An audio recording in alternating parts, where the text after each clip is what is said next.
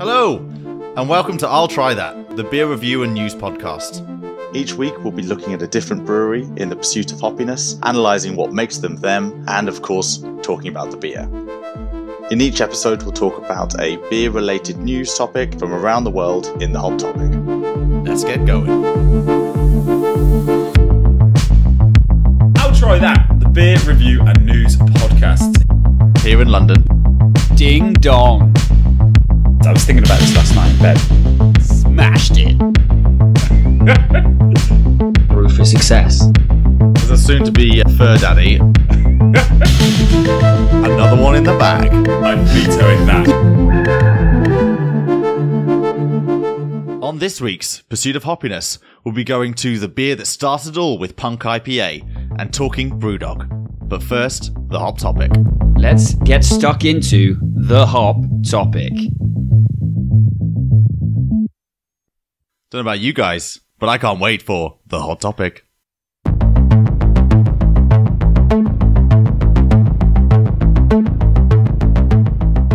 Simo, what have we got for us? Like interesting news about some sales from the US of A. Uh, the, the fact that they jumped up 22% in lockdown. Uh, this is 17% increase from 2019 uh, with beer and cider, etc. However, the online sales individually by themselves, 291% increase online. I love a good hop topic when we talk about stats.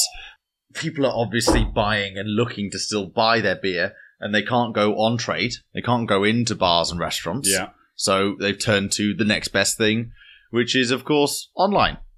What's your thinking about buying beer online? So I've I've start. I didn't used to do it, but started maybe a year or so ago doing it a little bit more, sort of mm. thing. Because it's going to sound really pretentious, but as I got older, I didn't want to drink certain kinds of things. I was starting to look for maybe a bit more variety, something mixing it up, mm. something different, something out there. And the internet, as we all know, is a plethora of mad kinds of alcohols that you can get. And being England, we like to get all those craft beers and ales that are coming in from America that you can just order online. So I'm I, I'm a big fan, and I can see why it's it's a booming industry.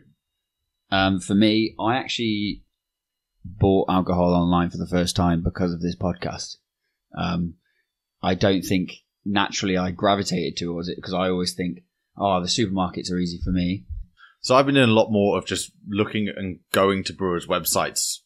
I've been purchasing directly to, to from the brewers, and an open doorway to all these different brewers that I didn't know existed in, in my local area around London.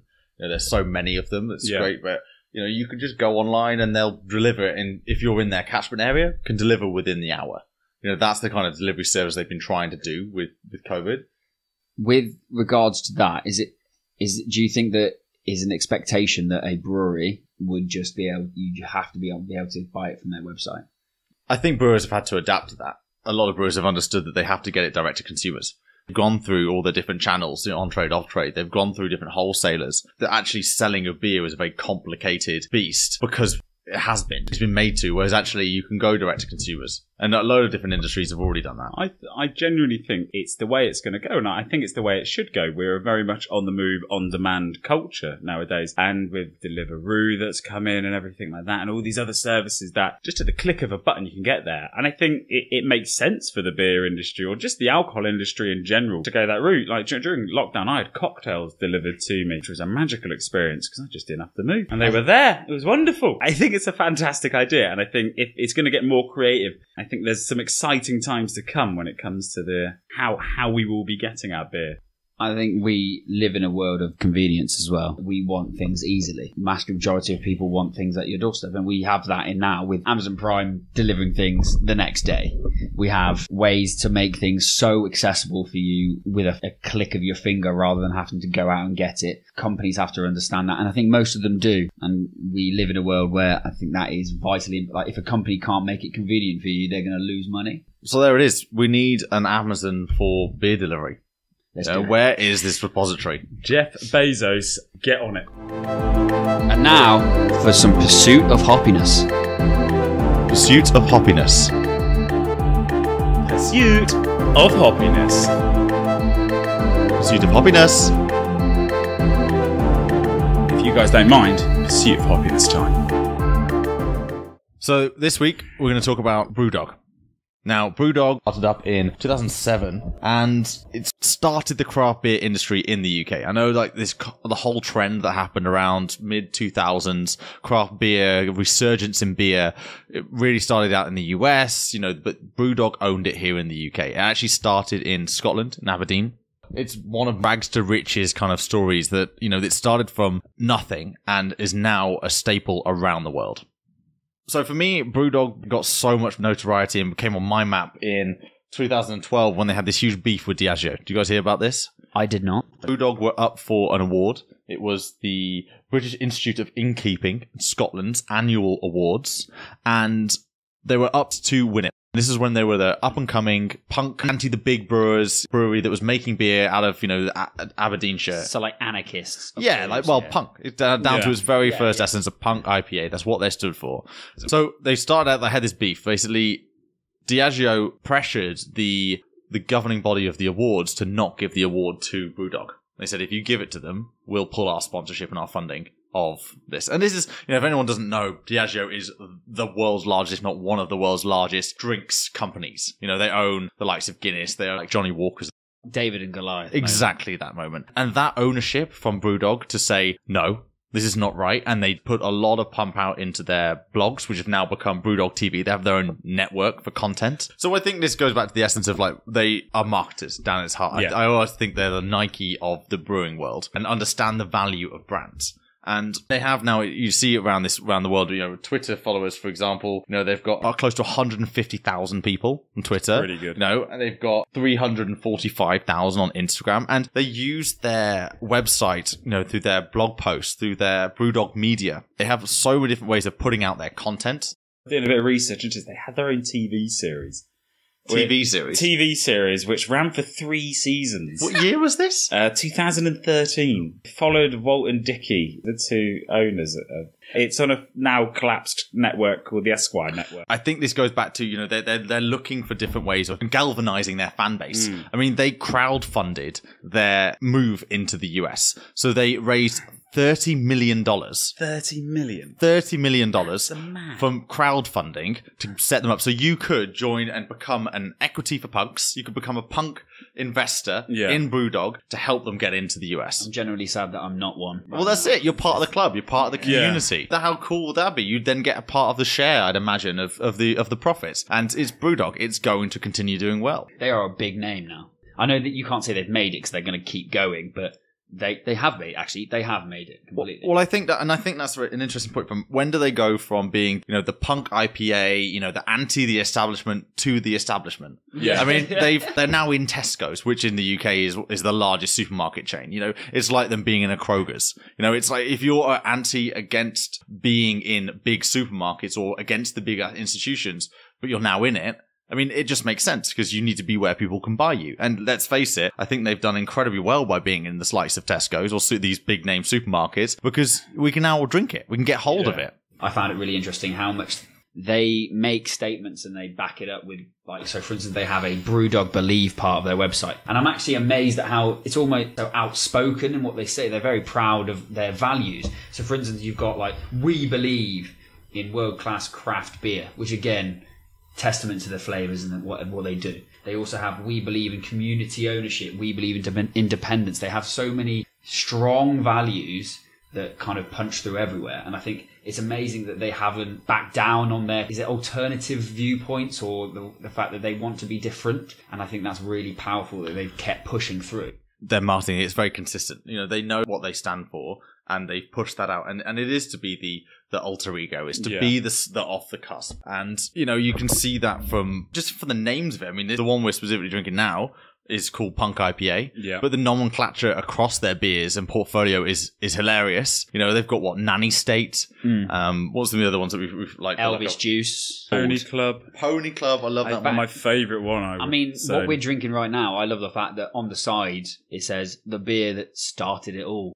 It's five point six percent. You know, it's what we've come to expect from these, you know, more modern craft brewers, IPAs, who basically up the ABV, but for the ability to bring more taste into it. And that's how they justify it, right? I, I mean, I I think it's such a you know you're drinking punk IPA. It's such a distinguishing taste. You and know it. It's, they've they've got some, somehow to be refreshing and filling at the same time, and it's just there's something wonderful about it. I mean, I personally don't actually know a specific time that I'd say I, I would be drinking punk IPA because I think it kind of fits so many different situations. for me, it's not a session ale. I couldn't drink this all day.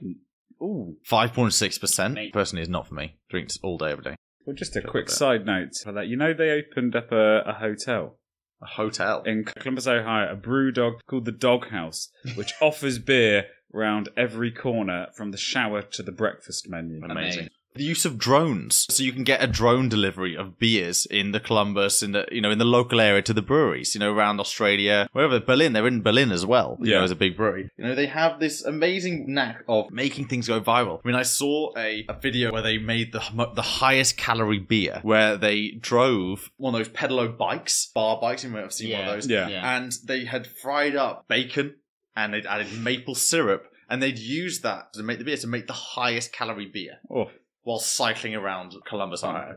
What? That's not. It's- you can't do that. But again, it's about the, the, the machine, the media machine behind it, which is helping to make them such a big and popular environment. I suppose that the, the, the marketing is very much to the, the, the younger crowd would be the best. So your people in your late twenty or like early twenties into your late twenties, they go, and they seem to be as a, as a company, they seem to be sticking to some, and I suppose going with the trends and stuff like that, and just keep finding really great things that they just seem to do. If you if you work for them as a company, you can go on to paternity leave. Which is if you get a dog, they'll give you off a week's paid vacation. As a soon to be fur daddy, I would love that to be the case. I mean, a fur daddy. Mm. yeah. Mhm. Um, so, moving on swiftly. Um, so, something. Uh, Who said we, that? have to, we have to cut that. That was No, no, that's I staying. just heard that back. That's it. that's my, Oh, that's, mate, that's my mate, favourite um, thing you've said this whole time. So, t- thinking about how good they are at marketing and the fact that obviously they're very big on Twitter, I recently found out that they have started a Brewdog drive-through. Now, I found this absolutely fascinating. This is the tweet. As part of our commitment to sustainability, we're going to open four Brewdog drive-throughs. Now, this is across the world. There's only four of them. One of them in the UK, one of them in America. The idea is this collection point is a hub for electric vehicles, closed loop of zero waste packaging, uh, such as growlers, mini kegs, and returnable bottles. And it's got hashtag Brewdog Tomorrow. It just everything about it is so clever. Now, interestingly, it's got a bit of backlash from some people saying, "Well, you're making us drive. How is that sustainable?" I don't know if that's missing the point slightly of the whole. No, I think it raises a good point. It was drink away, wasn't it? It's Yeah. Yeah. driving and drinking do not go together. But but but then it's the idea that you can go get just BrewDog, go home, and have a good time on BrewDog. I think it depends on what location. I mean, if you're talking about Columbus, Ohio, you're talking about like most places in the Midwest of America. You drive to get everywhere. Yeah. Yeah. You know, this isn't an environment where you're just can jump like walk down the street or jump on a bus. Like you'll have to drive to get to places. So that in that setting, that drive through to go and pick up the beer, it's basically a drive through shop or It's store incredible, by yeah, the sound of things. What a clever idea! Like, Yeah. they're, also they're using the idea of like, you know, we're going to be eco-friendly. We're going to say, right, have an electric car, be BrewDog, which for me says BrewDog are modern because guess what? Electric vehicles, they are the things that people are pushing. They talk a lot about sustainability as most brewers do, but I, what I found quite interesting about them is that they are really owning this area of being the alter ego, they're being the kind of the, the outside of the norm, Yeah. or the alternative. Yeah. 97% of their beers are vegan.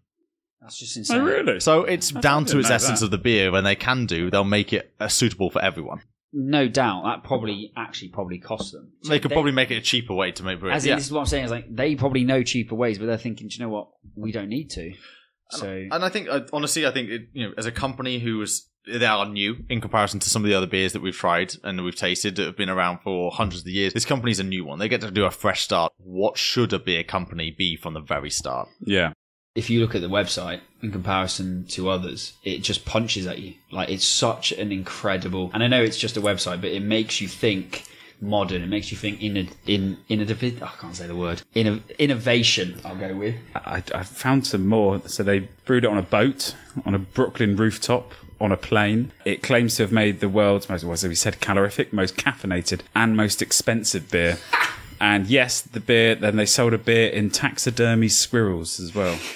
I mean, let's face it. If you're talking about a company that's alternative in the beer market, Brewdog kind of hits that bill. One hundred percent. It's fun, and I, I think actually going back to the innovation side of things, they have a whole alcohol-free range. You Yeah. know, you can buy their, you know, it's called Punk AF, Punk alcohol-free. You know, those kind of beers. And I've tried the lager. We'll talk about that probably in, in a dry January episode, but it's it's okay. It's you know, non-alcoholics. Yeah. But talking about their kind of non-alc commitment, they created the world's first ever non-alcoholic beer pub here in London. It's Yeah. the first ever bar that serves solely non-alcoholic beer. First one of its kind. Fortunately, it launched in February of 2020, and let's face it, no one's really been going there. No, yeah. since the whole What- this what I- year's been happening. What I feel like I'm hearing like through this conversation is they like being the first. They like being that new, interesting thing. For instance, we are the first to do this. We are the first to do that. That is something to admire. That they're willing to do it because it's a risk. It's a massive risk for a company to do something new. I think they're just looking at it in a way of, but how do we continue to keep people interested in what we're doing? Yeah. And let's face it, they're doing some really interesting stuff. I think what's recently happened with the whole Barnard Castle, you know, Can limited somebody, edition. some, somebody needs to explain and elaborate on this whole situation because I truly don't understand it. Coronavirus central. You know, we're talking about an environment where the governments are telling us have got stepped in and doing more oversight than we're probably used to in most Western nations. And this is absolute stomping grounds for Brewdog to get involved and be the whole we're the punks of this world. And this is really reaching into their whole kind of like co- communications. It's their wheelhouse, isn't it? It's exactly their wheelhouse. It's like we're being oppressed. This is how we're talking about this thing. So what happened recently here within the UK, along with all countries doing specific lockdowns and restrictions, is a major political advisor who'd been one of the main people saying about Stay at home. stay at home, don't go and don't break the curfews. no unnecessary travel. No unnecessary travel was caught driving from one end of the country to the other to a place called Barnard Castle and gave some very flimsy answers as to why he was doing that. Now, I would always say that companies try not to get into towards the political landscape or try to get political. Brewdog don't really shy away from that. But this was such a pop culture and such a popular opinion